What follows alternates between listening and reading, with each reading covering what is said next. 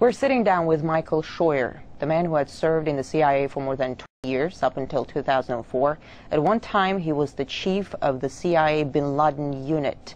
Then he went and exposed how counter-effective Washington's methods were in the fight against terror. He looked at the U.S. through its enemy's eyes. In fact, it's the title of one of his books called uh, Through Our Enemy's Eyes. I'm very pleased to have the chance to interview you, Thank Mr. you. Scheuer. I'm glad to be here. Bin Laden is gone. Who is Washington's number one enemy now? Washington's enemy is an enemy that doesn't exist. We're fighting an, uh, an Islamic enemy that uh, Washington believes is out to kill us because we have elections, because we're free, because we have women in the workplace. It's an enemy that doesn't exist. It didn't exist when bin Laden was alive, it doesn't exist now. America is being attacked because of its foreign policy in the, in the Muslim world, because of its support for Israel, because of its support for the Saudi police state, because of its presence on the Arab Peninsula.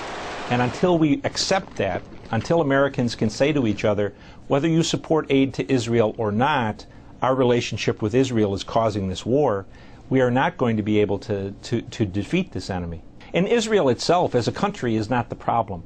The real problem are, is the leaders of the Jewish American community in the United States who influence and corrupt our Congress to support Israel when we have no interest there. You imply that it, it, the Israeli lobby is dragging the United States into the wars, into Absolutely. the conflicts? They're absolutely dragging us in. Iraq was a war that was pr- pr- proffered or was called for mainly. Then let me ask you this. Yeah. The situation in the region, in the wake of all these revolutions in the Middle East and North Africa, Yes. you can pretty much describe it as turmoil. Turmoil is no good for Israel. What you're saying?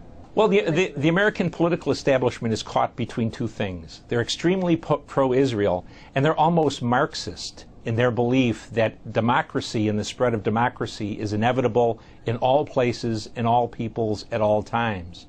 And so they need to protect the Israelis, but they can't say what is a reality. For example, there is not going to be a democracy in Tunisia or, or, or, or Libya or Egypt that in any way resembles democracy in the West. And yet, they, what they've done is create anarchy. They've created a situation where the only beneficiaries are the Islamists. The guns that have flown out of Egypt, out of Tunisia, out of Libya to the Islamists have been enormous in their volume. And the prisons that were opened in Egypt, Tunisia, and Libya have reinforced the Islamist groups across the world. So their, their mindless, their mindless uh, pursuit of secular democracy, at the end of the day, endangers the stability of the region and probably the whole world. Are you saying we're going to see further radicalization of the region? Oh, especially in Africa. Yes, ma'am. The guns that are flowing out of the three places where there were Arab Spring revolts are going to cause problems in Somalia, across North Africa, and in Nigeria. Let's talk about Syria. Yes.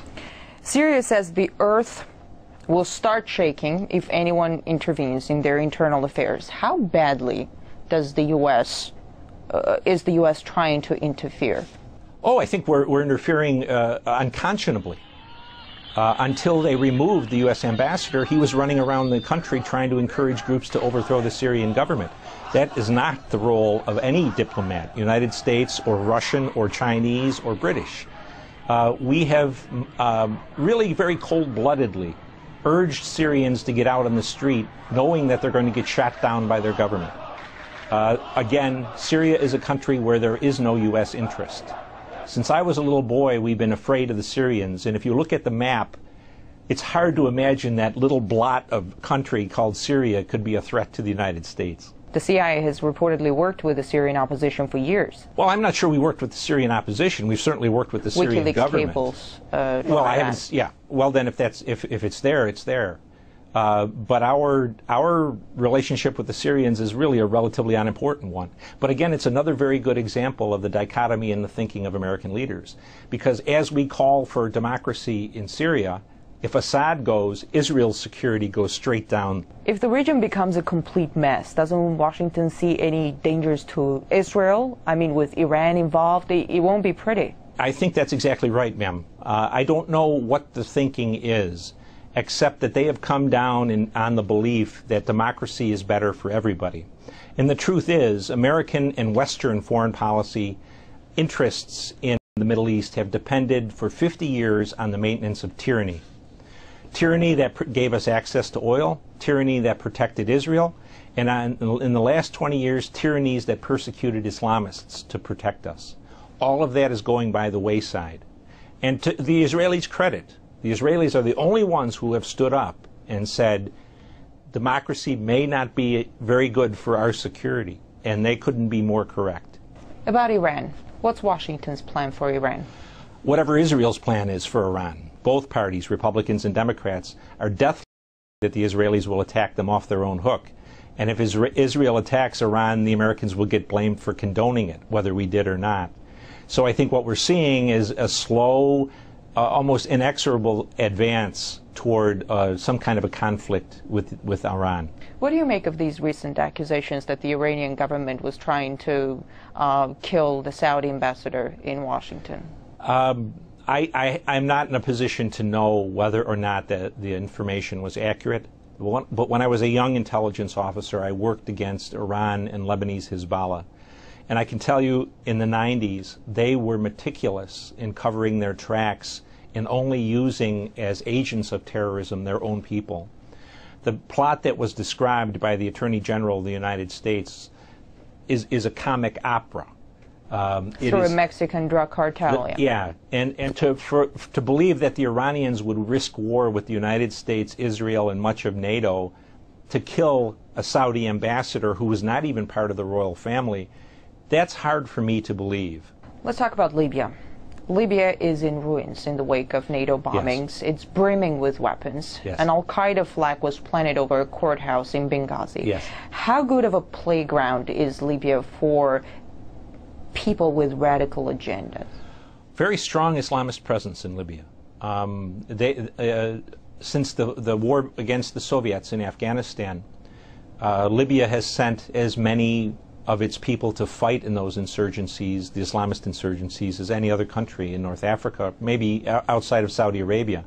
The Libyan Islamic Fighting Group uh, fought a long time against the Soviets.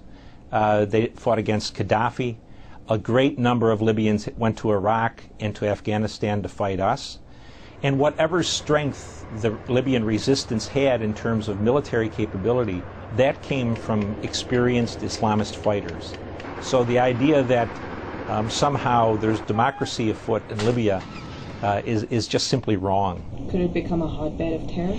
I don't know if it could become a hotbed of terror, but it can become a country that's decidedly anti American, anti NATO, um, it can be probably less a hotbed of, of terror than a country that is vastly unstable. It seems the U.S. is almost uh, creating grounds for terrorists to surge and then goes out fighting them. We see it in Pakistan. They got the whole nation alienated because of the strikes. A lot of people want revenge. Uh, how efficient is that?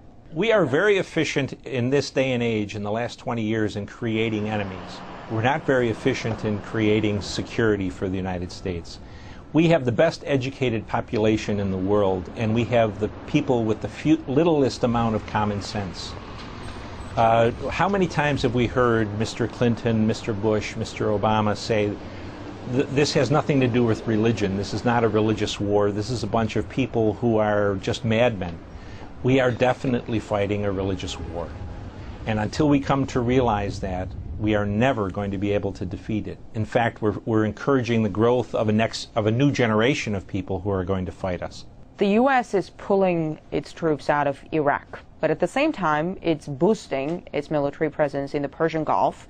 More ground troops are planned to be deployed. New drone bases are being built.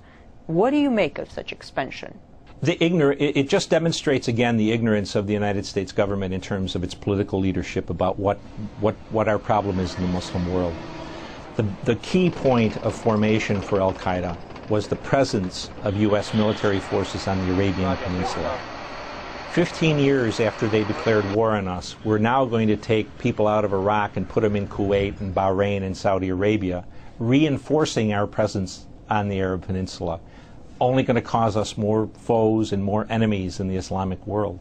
It's a, it's it's a, it's a it's a uh, contradiction. It's it's okay, a lack let, let of common sense. This. If uh, the U.S. pulls out out of everywhere, yes, Is it going to be the end of terrorism? It certainly would, would deny the terrorists the, the glue of unity that keeps them focused on the United States. If we weren't the main enemy, they would be attacking Israel, they would be attacking the Saudis, they would be tack- attacking the Moroccans. The war would be. And would you say let them ac- attack Let 'em go. The, the Israelis and the Saudis? let them go. Sometimes they say the Chinese will come in. I said, let the Chinese deal with these people for the next 50 years. We've had enough of it. But I think the point is the Americans can't get out. We're dependent on the Saudis to maintain our interests in the world oil market, and the Saudis buy, next to the Chinese, more of our debt than anyone else. So as long as we're side by side with the with the Saudis and with the Israelis, we're stuck in the Middle East, and America will continue to bleed. Dr. Scheuer, thanks for the interview. Yes, ma'am.